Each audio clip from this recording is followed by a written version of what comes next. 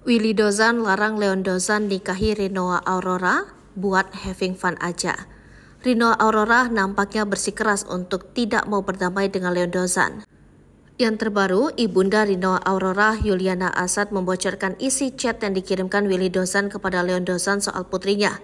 Ternyata sebelum kasus penganiayaan ini ramai, Willy Dozan telah memperingati Leon Dozan dengan memberikan pesan menohok soal hubungannya dengan Rinoa Aurora. Yuliana membongkar bahwa ayah Leon Dozan mengirimkan pesan dengan bahasa tak pantas. Dalam pesan tersebut, Willy Dozan melarang putranya untuk menikah dengan Rinoa Aurora. Yuliana mengatakan bahwa pesan tersebut diperlihatkan oleh Leon Dozan kepada Rinoa. Isi pesan Willy Dozan kepada Leon Dozan itu membuat ibu Rinoa Aurora sakit hati.